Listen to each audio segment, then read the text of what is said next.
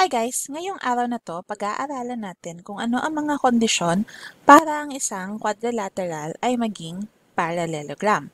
Sa example na ito, meron tayong quadrilateral EFGH.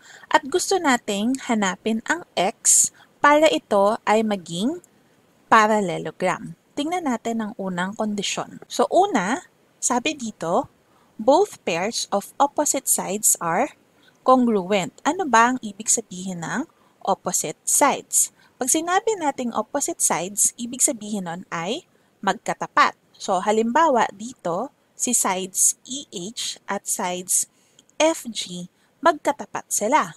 Ano naman ang ibig sabihin ng salitang congruent? Ibig sabihin nun, yung measurement nila or yung haba nila ay magkaparehas.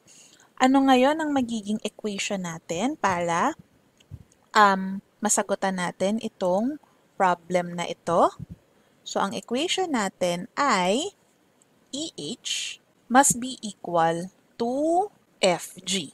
Ang measurement ng EH ay 5x minus 5. Ang FG naman ay 4x plus 1. Paano natin ngayon isosolve ang x? Kailangan lahat ng x nasa iisang side at lahat naman ng mga constants natin ay nasa kabila. So, dito si 5x ko, nandito pa rin siya. Ngayon, itong si 4x ko, ililipat ko siya sa kabilang side or itatranspose natin.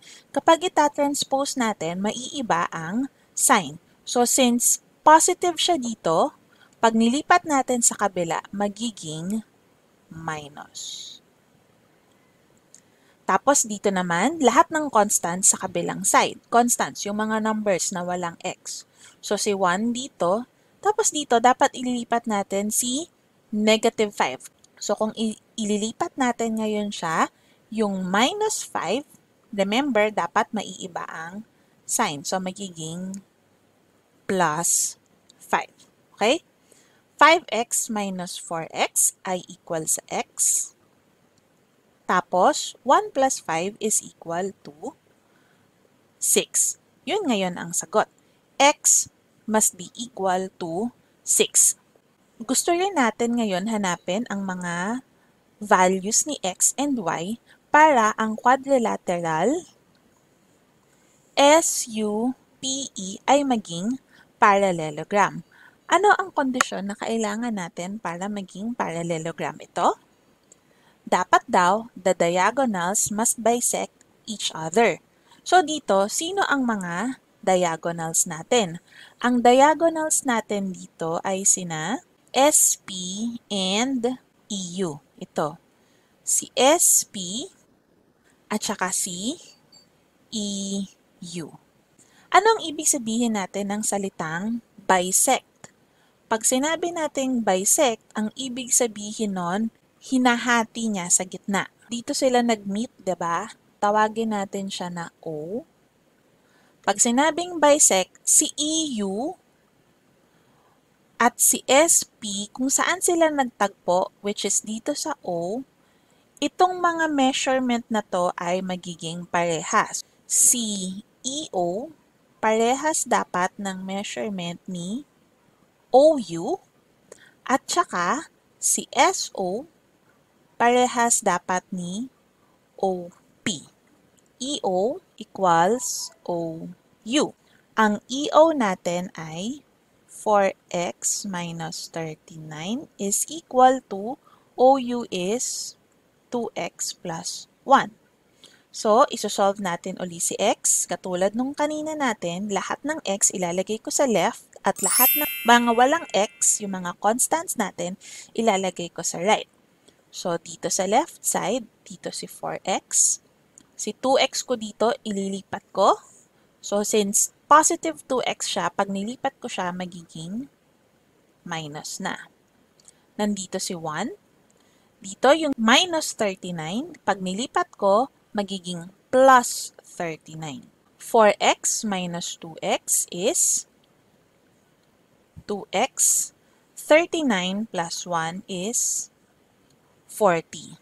Paano natin isi-solve si x? Si x merong nakamultiply na 2. Para mawala yung nakamultiply na 2, ano ang kabaligtaran ng multiplication? I-divide natin by 2. Kaya naman, makakancel na to. Ang makukuha natin ngayon, x is equal to 20. Puntahan naman natin yung kabila. SO must be equal to OP. Ang SO natin ay y plus 3. Ang OP natin ay 2y minus 9. So, dito, ilalagay ko again lahat ng may variables na y sa left side dito at lahat ng constant sa kabilang side. So, y, nandyan lang siya. Yung 2y, ililipat ko. Yung 2y magiging minus 2y, mababaligtad ang sign.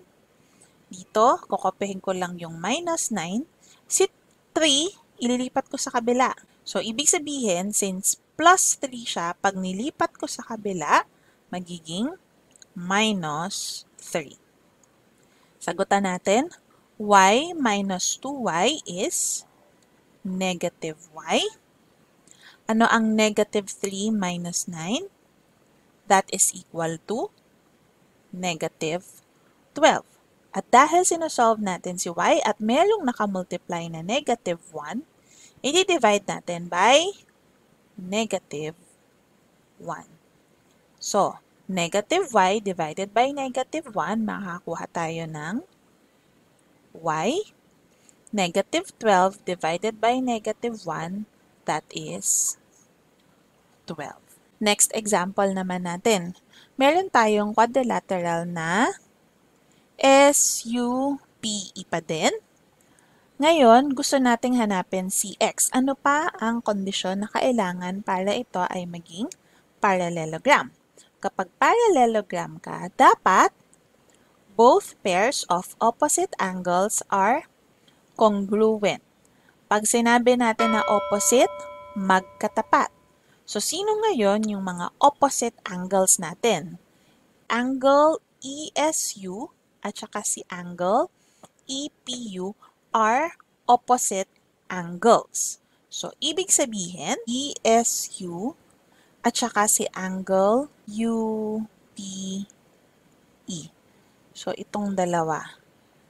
Dapat pareha sila ng measurement, congruent.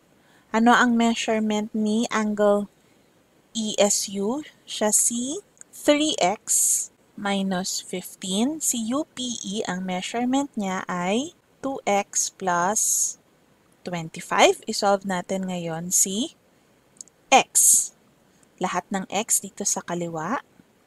So, ibig sabihin, si 2x ililipat ko, magiging minus 2x. Nandito lang si 25, lahat ng constants or yung mga walang x. Si minus 15, magiging plus 15. Ito plus pa rin siya. 3x minus 2x ay equal sa x. 15 plus 25 ay equal sa 40. Last problem naman natin ngayon. Again, meron akong quadrilateral dito.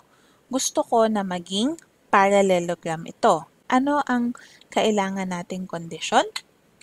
So, ito. Both pairs of consecutive angles are supplementary. Ano ang ibig nating sabihin ng salitang consecutive angles? Kapag sinabi natin consecutive angles, ibig sabihin nun magkasunod. So halimbawa dito, si angle E at si angle S consecutive kasi magkasunod. Sino pa? Si angle S at U, consecutive angles. Si angle U at P ay consecutive. Ano naman ang ibig sabihin natin ng salitang supplementary. Ibig sabihin ng supplementary, kapag inad natin sila, magiging equal sa 180 degrees. Yung measurement ni angle S at measurement ni angle E, dahil sila ay consecutive angles or magkasunod, dapat ang sum nila ay equal sa 180. 80. Palitan natin ngayon, si angle S, ang measure niya ay 6x plus 5. Si angle E, ang measure niya ay 4x plus 15. Tapos, kukopihin ko lang yung 180. I-simplify ko muna itong left-hand side. 6x plus 4x ay equal sa 10x. 5 plus 15 is 20. Kopyahin ko lang uli. And then, gagawin na natin uli yung ginawa natin kanina. Wala nang x dito sa right-hand side. Si 10x, okay na siya dito. Kailangan ko na lang ilipat itong 20 para x lang dito sa left-hand side. So, magiging 10x is equal to, i-copy ko lang si 180. And then, yung plus 20, ililipat ko sa kabila, kaya magiging minus 20. And then, 10x is equal to 180 minus 20 is 160. I-solve natin si x, merong nakamultiply na 10. So, ibig sabihin, di-divide ko both sides by 10. Dahil ang kabaliktaran ng multiplication ay division. Makakancel to. x ay equal sa 160 divided by 10 is 16.